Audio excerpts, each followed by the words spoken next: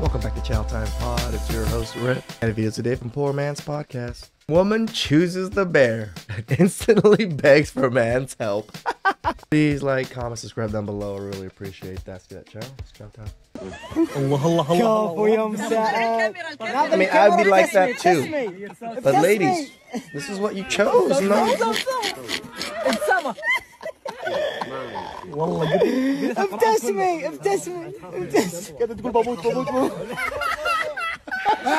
The funniest part And oh, it's is it a, not a black bear? I thought all you guys ladies knew about black bears and they weren't gonna hurt you in any way or blah blah blah.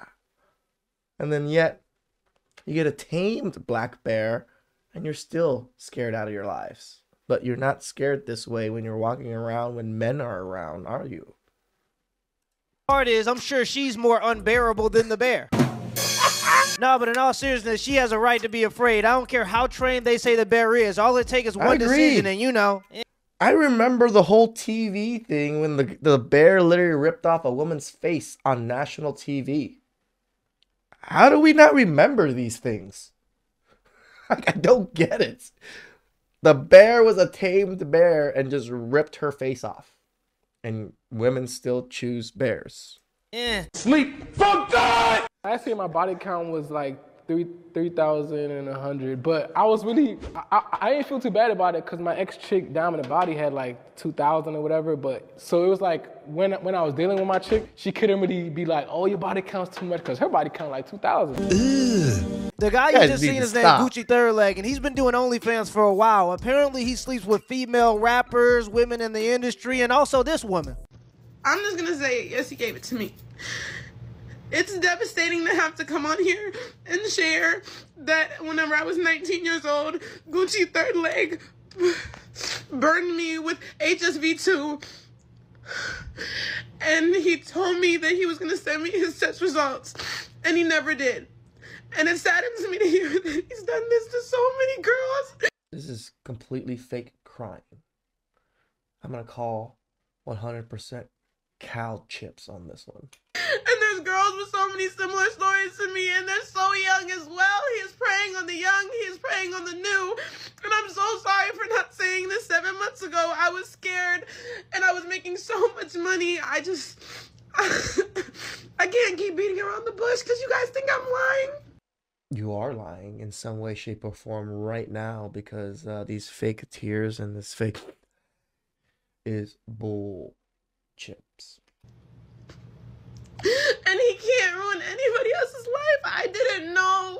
I didn't know what he was known for. I didn't know who he was. I didn't do my research. And it is my fault.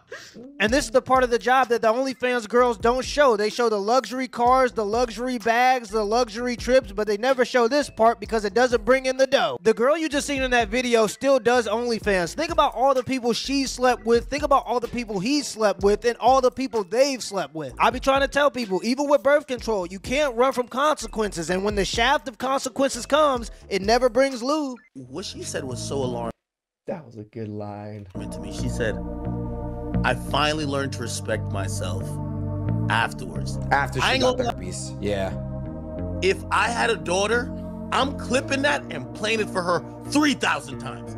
Because I think, you know, most women who do OnlyFans, before they get to the point that she's at, you know what they say?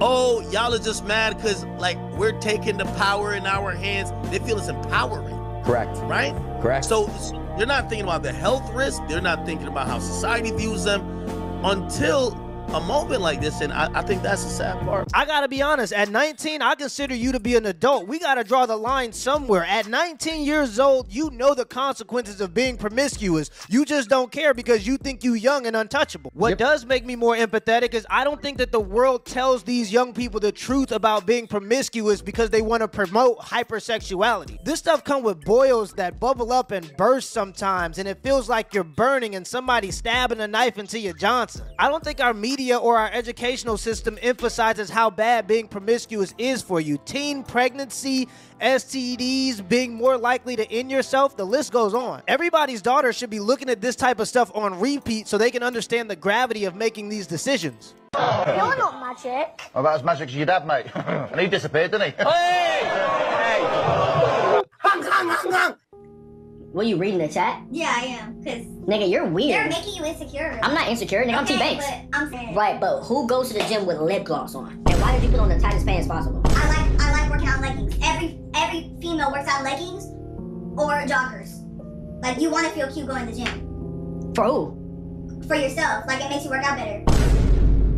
You're Lip gloss and tight, sw- what leggings make you work out better? I don't see guys wearing that stuff.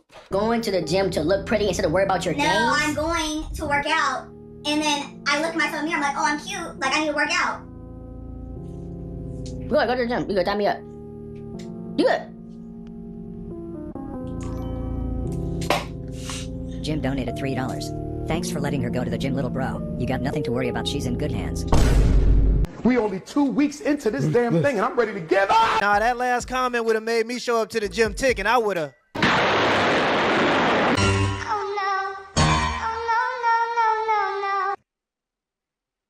Did she just get baptized and still did like this whole thing after getting baptized right now? The- You better dip that cookie again. The devil is still up in that cookie. Tell me why you go for players. What's attractive about them? I go for players because I turn them into non-players, but then they end up leaving me. But like, at least I'm doing community service for the girls, you know. What do you mean community service? I meet them and they're like hooked era, and then turning the players into non-players, and then when they leave You really think that, do you? me, they're better off. I'm like the stepping stone for marriage. Why do they leave you? Be honest. I couldn't tell you. They always tell me they love me, but then they leave, you know. So basically, she getting played by players, but she getting played so good, she thinks she the player. Hey man, don't hate the player, hate the game. No, you don't need cold showers, you don't need the Eisenhower matrix, and you don't have to use the Pomodoro technique.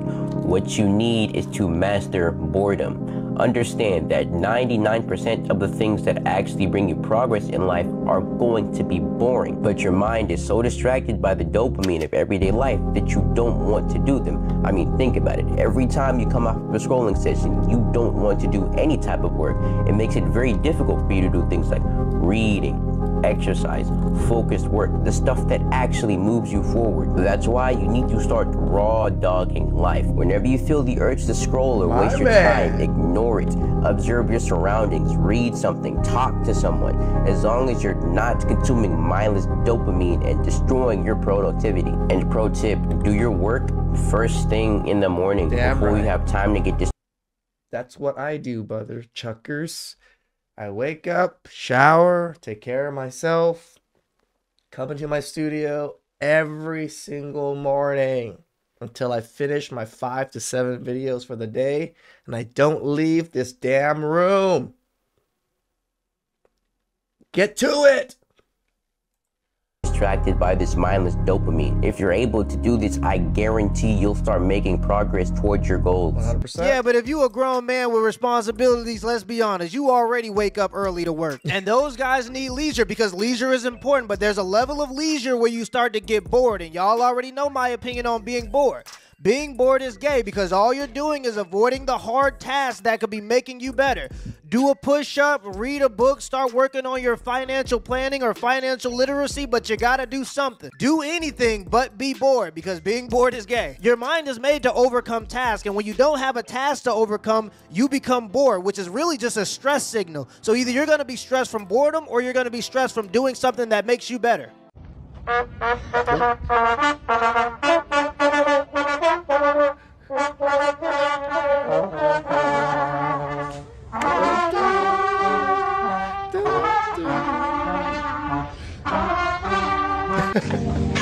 I have some money? Damn! How much you need? Whatever you feel like giving, kind sir. But the fact that I don't like when a woman sings. I might have to just like just the wanna see how fact that genuine- I'm a cool I can't- fun look, nigga though. can't- Like the fact that I put out the stack like that, and I knew to bring that shit because I know like now I know I like need a man that provides, that yeah, takes pride in being a provider. like you feel me? this is natural though. Yeah, but I But gotta I make brought sure. this just for bait to see like who would jump out of line and just like skip every round just to run to the bag. We I'm don't not- want money. They probably just like. Nah, because the money come with some genuine shit. You get more when you're genuine though. Hide the money, Broke. I ain't never seen a bird turn down bread. Going broke for a broke woman to prove that you ain't broke is crazy. Am I the asshole for lying to my wife that I would forgive her cheating? When me and my wife first started dating, we had a talk about cheating. I straight up lied and I said, Yeah, you know, if anything ever happens, I need to know straight away if you tell me. And if it only happens once, I think I could forgive you. Fast forward five years later, we are married. A couple of nights ago, she came up to me and asked if I remember our talk, and I said, Which one? we Oh, have a lot of talks like that. Then she reminds me about the cheating talk and confessed that she slept with a coworker at a recent company party. That is I was mortified. I packed my stuff and I left, and she begged me to stay, but I couldn't. I needed to cool down. We talked yesterday, and she again reminded me of our talk early on. I laughed and I said, I never intended to forgive you, and I only said that at the time to make sure she confessed if it ever happened. I'm still planning on divorcing her. Nothing can change my mind on that, but my wife said that what I did was manipulation. Was I the asshole for lying about forgiving her? Am I? I mean, in a sense, it's somewhat of a manipulation, but you also didn't have to cheat to test it out. Am I the asshole for lying to my wife that I would forgive her cheating? One day, the stranger interrupted you. Post. Mother. Oh, you in there.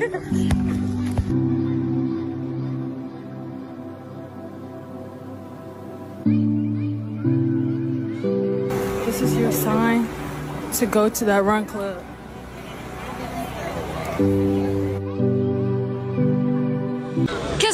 That actually kind of touched me a little bit. My cold, dead heart got a little warmed up on that one. I'd rather just let you know you look good, and I want your confidence to stay up here. Don't let nobody lower your self-esteem ever. All right? I dap you up. Like I shake your You hand. don't want to slap? Nah, I'm good. Aw, It's you're not- it's- you're it's- sweet.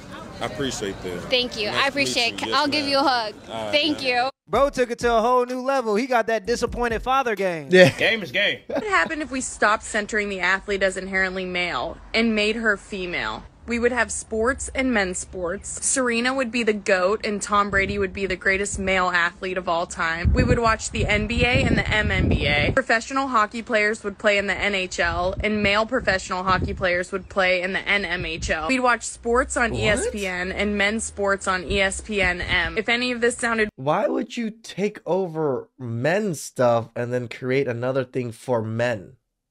That doesn't even make sense. Just make your own crap. Weird to you, it's time to start thinking differently. What would happen if we started using gloves on our feet and shoes on our hand? Then, when your hands are cold, you're like, pass me some shoes. And if your feet are cold, you're like, can I get some gloves on those? That is literally as stupid as what this woman just said. Ladies, don't make us take away your right to vote again, okay? It's you're on the razor's edge right here with shit like this, okay? If they started doing what she proposes, all that will happen is that the people will just watch the men's sports channels. Nothing will change other than we like, oh, they changed Hey, the name of it this something thing, else. but nothing changes otherwise. And yes, Serena Williams is very good, but everything else you said is fucking nonsense. The fastest way to know if something will work for you is to try it. Learn to proceed without certainty.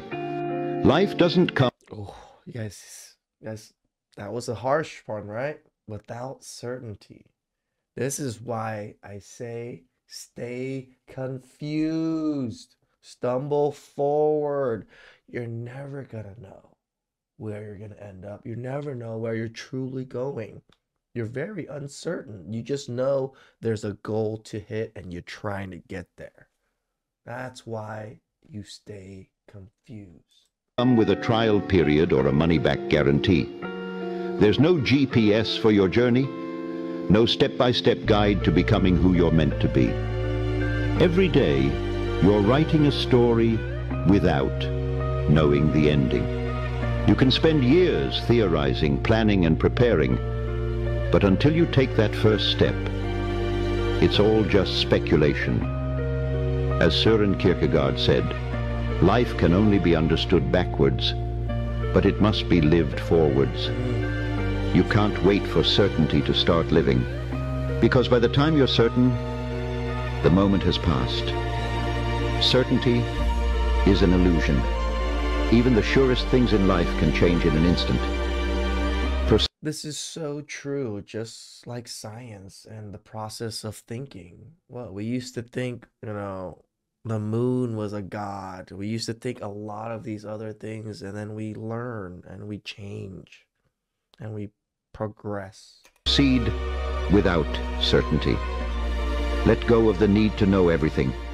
And really, the only thing you are certain about is death. So what the hell? It's funny because I see this a lot. There's a lot of people that use motivation as just masturbation, just pleasuring themselves. They spend all their time watching motivational videos, making a plan, but the plan is never perfect, so there's never any action. You're supposed to attack life and go out there and fail. In fact, every time you fail, you get closer to not failing. To be honest, when we're 70 years old, we should be more afraid of regretting the things that we didn't do instead of regretting the things that we did do. Now, I'm not saying go out there and do something irresponsible, but I'm saying, ironically, the quickest way to not fail is to fail a bunch of times. Let me know in the comments below if this video was a W or L and give me the HBO special that's help brother out special. Hit the like and the subscribe button for more content. Till next time. I mean, I tell you guys this all the time how much I've failed spectacularly throughout my life. I've failed most of almost everything I've ever even attempted to do. So there's some things that I was good at, but I wasn't successful in it as like I make good money out of it or anything. Until YouTube came along. And even when YouTube, I just took everything that I've learned from all of my mistakes and failures and just put it into YouTube and I grinded it away for a year almost to not make any money. And then now I start making good money. But I also didn't quit on other things thinking that this was the end all be all. I still had two jobs, I still do other things. I still try to get other businesses going outside of this because I never know how long this is going to last. This is why you guys just got to keep trying. And dust yourself off when you fall. Please like, comment, subscribe down below. I really appreciate that. Thank you guys. Ciao.